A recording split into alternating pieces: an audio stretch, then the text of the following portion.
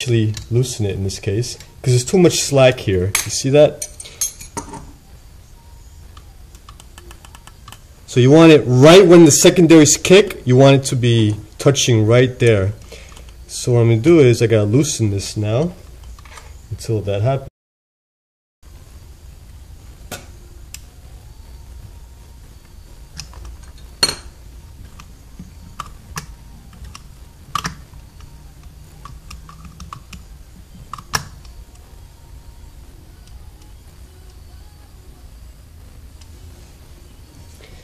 And now check the full throttle position of the accelerator pump.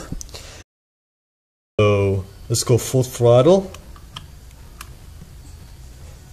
And now what you should see is when I do that,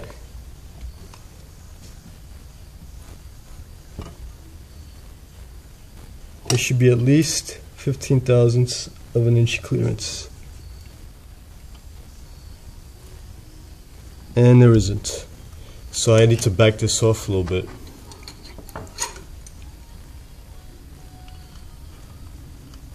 By tightening it down.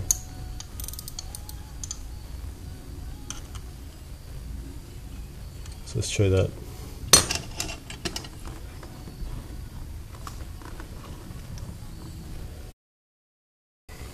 Alright, now this is full throttle.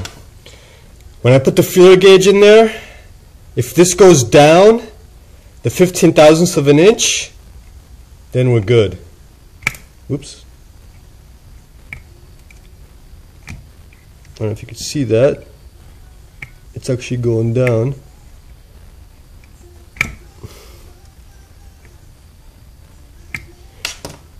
There's more play here to go down, so that means it's good.